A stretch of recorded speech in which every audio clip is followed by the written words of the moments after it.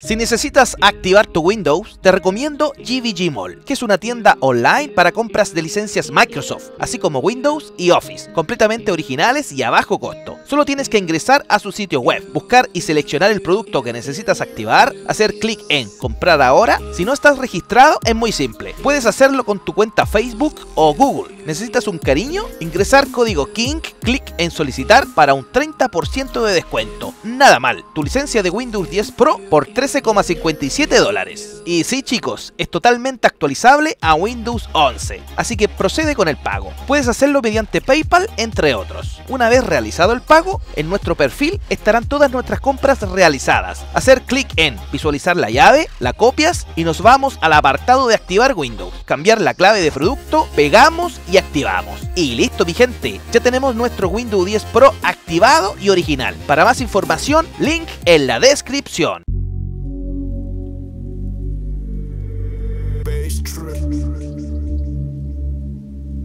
Hola mi gente, sean todos muy bienvenidos a un video más en el canal. Desde mi humilde cuchitril, con todo mi cariño para todos ustedes. Hace bastante tiempo atrás que un amigo suscriptor del canal me donó algunas cositas. Entre esas cositas, esta hermosa motherboard. Una Gigabyte Z77, socket 1155, para procesadores de Intel de segunda y tercera generación. Una gran motherboard de esos años, con un excelente chipset, buen soporte pero el único y gran inconveniente que tiende a tener para toda esta línea de Intel es su socket, el gran LGA, y que a muchos nos ha dado un gran dolor de cabeza hasta el día de hoy, y me incluyo, por su delicada manipulación, en especialmente sus pines, se dañan con facilidad, así que hay que tratarlo con mucho cuidado, ya que podrían terminar como el de esta motherboard. Chascones, así, a secas. No sé las razones del por qué terminaron de este modo. Si el amigo que me la regaló la compró ya estropeada o por un descuido la dañó, terminando acumulando polvo por años. Pero no todo está jodido. Cuando situaciones de este tipo ocurren, los podemos enderezar de forma fácil. Y si no, si los pines están muy doblados o rotos, podrían ser irrelevantes para su buen funcionamiento ya toca indagar un poco más. O todo lo contrario, no detectando la CPU o lo típico, algún slot de memorias RAM, ya que también sabemos que tienen relación directa al CPU. Y ya como último, lo más grave, llegar a dañar el CPU, la misma motherboard, memorias RAM, periféricos conectados en sus puertos PCI Express, etc. ¿Y cómo es eso? Claro, producido por pines en corto o doblados, suministrando voltajes en donde no se debe, ya que la CPU tiene relación directa con muchos otros controladores, bus de datos, PCH, etc. Así que lo mejor antes de montar el CPU, fijarse que todos los pines del socket estén en orden.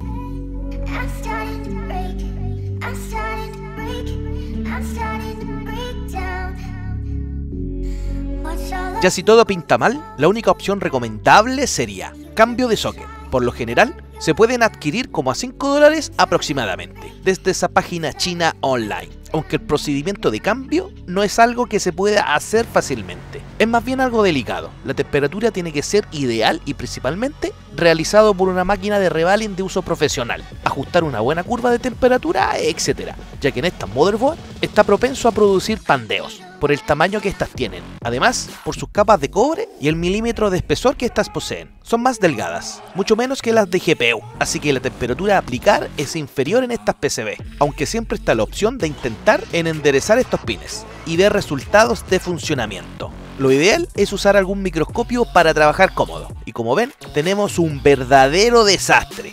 Aunque como dije antes, hay pines que son totalmente irrelevantes, no cumplen función alguna Solo hay que preocuparse de los que sí lo son. Intentar recuperar, que no queden haciendo corto con otros pines cuando montemos el CPU. Sé que es algo tedioso, pero sirve como terapia. Incluso, revisando la totalidad de los pines, hay algunos rotos, ni siquiera doblados. Aunque de todo el socket me preocupa esta área. Pero si tenemos algún esquema del socket, podríamos ver si los pines rotos serían de vital importancia o irrelevantes para el buen funcionamiento. Acá tengo un board view de una motherboard Z77, aunque no es esta, pero me sirve podríamos intentar probar si podemos dar arranque de buena forma a esta motherboard. Así que viendo dos pines faltantes, que sería de esta segunda línea, en el diagrama indica que es negativo, ground. O sea, si tenemos esos dos rotos que no estén haciendo contacto, no afectaría, ya que disponemos de otros pines cumpliendo la misma función. Y de los pines que están doblados, en diagrama, indica que son voltajes de núcleo, B-core, al igual que el ground, tenemos otros pines realizando la misma función, y acá solamente importaría que no haga contacto con otros pines, como el de ground, ya que podría producir corto. Así que intentaremos enderezar lo más que podamos, para evitar hacer un cambio de socket.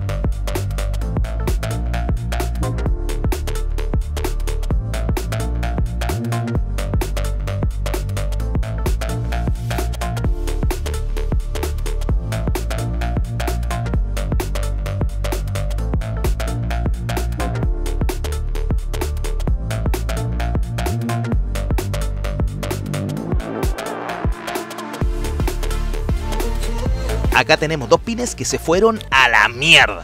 Están rotos y por ende no podrían realizar contacto con el pad en CPU. Pero al indagar un poco más para ver si es de importancia o irrelevante, el primer pin es de B-Core y el segundo pin roto no representa conexión alguna en CPU, así que ambos podríamos descartar. Hay muchos pines que no poseen conexión alguna, así que da lo mismo si están dañados o rotos. Pero, por desgracia, tenemos este otro pin roto, que se rompió mientras lo intentaba enderezar. Suele pasar. Al indagar un poco más, es el bus de datos, de donde tiene relación directa a los slots de RAM A1 y A2, así que podría dar problemas en detectar los módulos de RAM. También hay otro pin que también, intentando enderezarlo, se rompió. Pero por suerte, este se conecta directo al negativo, a ground, así que no hay gran problema. Solo me preocupa ese pin que tiene relación a los módulos de RAM. Bueno, ya he revisado todo el socket, enderezando la mayoría entre comillas, ya que no quedaron tan bien que digamos así derechos como de fábrica, pero es lo que hay. Solo queda probar si logra detectar el CPU y dar arranque normalmente. Pero antes, revisaremos si tenemos corto en la entrada de voltaje para CPU con la ayuda de un multímetro, usando el mismo método que utilizamos en detectar cortos en una GPU en videos anteriores, aplicaremos en esta entrada de voltaje de 12 v pinza positiva en negativo, acá conecto esta pinza en chasis de USB, y con la punta negativa, el conector de entrada de 12 v y como ven, marca como 500 mV aprox. Perfecto, no hay corto. Ahora, a montar el CPU de pruebas. Este es un i3 2120, CPU de segunda generación de Intel, ya puesto en su socket, volvemos a medir en el mismo terminal y nos marca 436 mV. Excelente, no hay corto alguno con el CPU puesto. Estamos bien. Ahora, a conectar la fuente de poder y darle energía a esta motherboard. Sí chicos, un buzzer. Si no posee un display para visualizar códigos de error, con sus pitidos nos servirán para ver si al menos da arranque o con algún error. Encendamos puenteando el switch de power como lo hacemos en la vieja escuela. Enciende la fuente de poder, ok.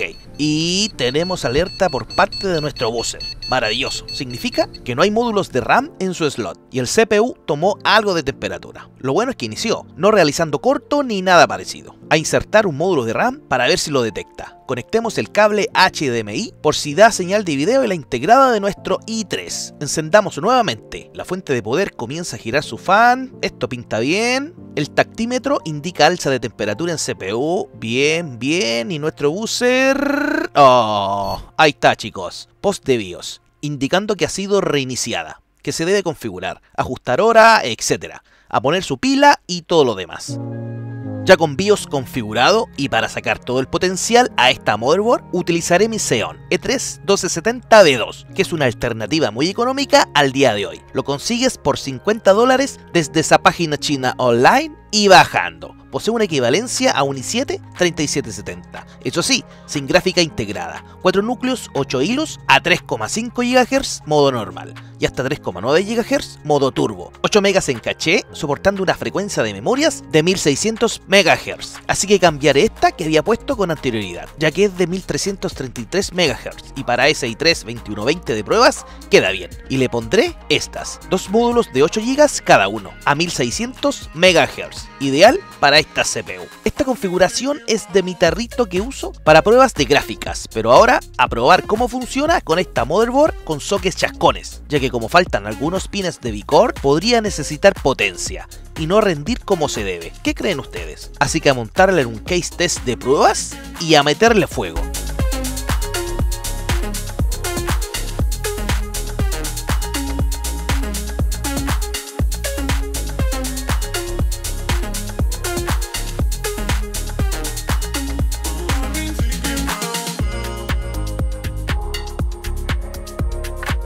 El adaptador vertical PCI Express 16X que estoy utilizando en el tarrito para pruebas, para quienes me han preguntado, es gentileza del tío Charcun. Los pueden encontrar con los amigos de SP Digital. Dejaré los links en la descripción por si a alguien le interesa. Ojo, no necesitan ser potenciados, trabajan muy bien con gráficas de alto octanaje, alto consumo. Y para el apoyo energético, esta Silent Storm Cool 0, igualmente del tío Charcon, 80 Plus Gold, full modular, exquisita fuente de poder. La llevo usando unos par de meses para mis pruebas y me banca cualquier gráfica, hasta las consumidoras de gigawatt extremas. También cambiaré el cooler que había puesto desde un principio, S213, solo fue para algunas pruebas iniciales. Ya con este, basta y sobra para este Xeon. Y nuestra primera gráfica en pruebas, para verificar que todo esté en orden y soporte gráficas actuales. Esta hermosa RTX 3070, Tough Gaming, ojo, no tiene problema alguno llegó para una mantención y de hecho, aún no lo apruebo como quedó. Así que este será un buen momento. Todo funciona perfectamente chicos. A pesar que los pines en CPU estaban bien chascones, doblados, rotos, enderezamos algunos y los que no fueron totalmente irrelevantes para el buen funcionamiento. Los dos módulos de RAM insertados y probados en sus cuatro slots funcionan perfectamente. 16 GB en RAM en total a 1600 MHz. En pruebas de benchmark con CPU-Z entrega un puntaje esperado para este CPU Xeon 1270B2, llegando a frecuencias de hasta los 3,9 GHz, 1832 puntos en total en multithread y 342 puntos en single thread. Eso indica que el consumo es normal, no está faltante en potencia por esos pines faltantes que analizamos. Y en slot de PCI Express 16X detecta la gráfica perfectamente, a pesar que esta RTX 3070 es PCI Express 4.0 y esta motherboard es 3.0, es detectada por 16X, así que no hay problema. Peor hubiera sido que lo hubiese detectado por 8X o 4X, así que bien. Bueno, y en pruebas en benchmark y todo lo demás funciona perfectamente. No hay ningún problema usando este socket de ese modo. Pregunto, ¿pero ustedes qué habrían hecho? También tratar en enderezar esos pines y usar así como quedó o llevarla a algún servicio técnico para cambiar el socket. Yo por mi parte, honestamente, hubiese cambiado el socket. De hecho, lo intenté. Pero no antes de hacer pruebas. Esta es una maquinita de revaling para uso ya profesional. Sería ideal hacer el cambio con este tipo de máquinas. Para quienes trabajan en este rubro, saben de qué les hablo buen precalentador, control de curva de temperatura, todo computarizada, una verdadera belleza. Apretar un botón y listo. Aunque siempre habrá una que otra de mejor calidad. Bueno, yo estoy trabajando en una artesanal, rústica, a pruebas y error.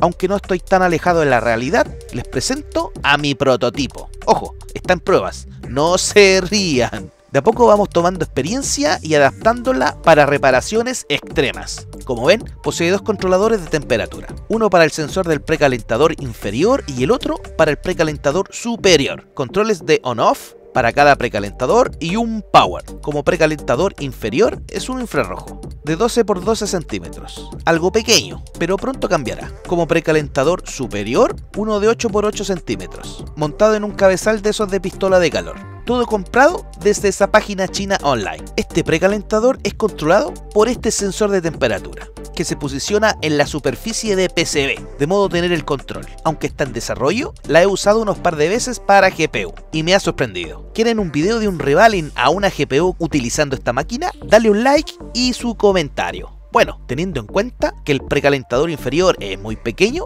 no abarca toda una motherboard y podría estropearla en el proceso. Así que puse en la churrasquera a un conejillo de indias, una motherboard en desecho. Saqué el bracket de socket y protegí lo delicado con una cinta adhesiva de aluminio. Y luego la monté en la parrilla, con el precalentador inferior a 300 grados. La sonda superior tiene que llegar a unos 150 grados para activar el precalentador superior y dar apoyo para que la temperatura llegue a la defusión, a unos 220 grados aproximadamente. Todo perfecto hasta ahora, pero todo se fue al carajo. La temperatura se fue muy rápido y aún no estaba listo para retirar el socket, hasta que por fin se fundió la soldadura y se logró sacar el socket de la motherboard de prueba sin problemas, pero quedó muy chamuscado. La temperatura dañó el PCB, que por lo general es de fibra de vidrio. Esta quedó como popcorn. La alta temperatura la dañó mucho en el proceso. Es por eso desistí de realizar el cambio de socket a la que tenía en mente por ahora, el cambio de socket, hasta mejorar un poco más esta máquina en construcción.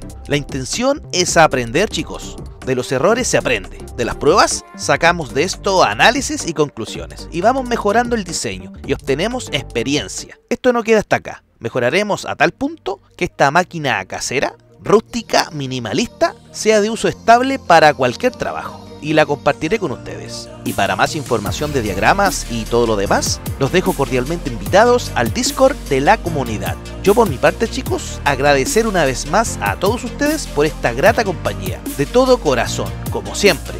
Esto sería todo por ahora, se vienen grandes cosas, se me cuidan, que el de arriba los proteja a cada uno de ustedes y recuerden que esto lo vieron en el canal del Kings. Hasta la próxima, chao chao chicos.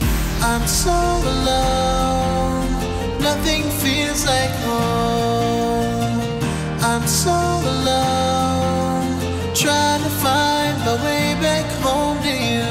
I'm so alone, nothing feels like